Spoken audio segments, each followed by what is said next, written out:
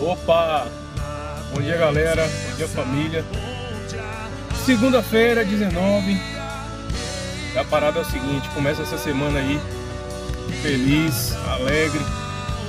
Tá bom? Porque a alegria do Senhor é a nossa força. Não é a alegria da copa, a alegria da bebida, a alegria da grana no bolso, a alegria dos filhos, da esposa, do marido. Não.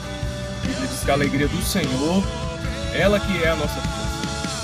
Então tenham a alegria dele. A alegria dele é a alegria de que o time dele não perde. A alegria dele é que ele ri e zomba dos seus inimigos. Salmos capítulo 2 diz que o Senhor ri no céu. O que Deus está fazendo no céu agora, Murilo? Deus está rindo. Rindo de quem? Rindo do inimigo que foi destruído. Rindo daqueles problemas que você acha que é grande demais, mas que para ele não é nada. Então ele está rindo. A Bíblia diz lá: ri-se o Senhor no céu, o Senhor zomba deles. O Senhor está lá no céu tirando onda dos seus inimigos e você não vai ficar aqui frustrado, com cara de jumento, sabendo que Deus ele já venceu todas as coisas, né? Jesus disse: No mundo tereis aflições, mas tenha alegria, tenha bom ânimo, porque eu venci o mundo. Então não esteja no mundo, com a sua cabeça no mundo, esteja com a sua cabeça em Cristo, aquele que é o vencedor invicto. Amém?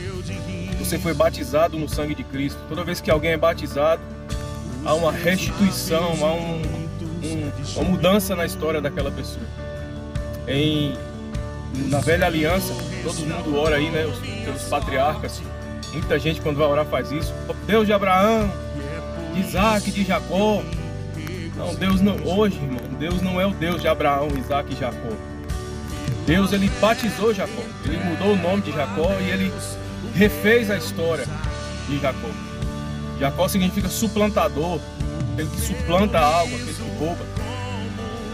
E Deus ele mudou o nome de Jacó para Israel. Israel significa aquele que vence todas as batalhas, vence todas as guerras, aquele que é invicto, aquela, aquele que tem a vitória certa. Isso é que significa basicamente Israel. Quando você orar, não ore mais o Deus de Abraão, Isaac e Jacó aquele que você vai estar orando assim, o pai de multidões, que é Abraão, o nome é Abraão. Isaac, que significa riso, gargalhada. E Jacó, que significa roubar, suplantar.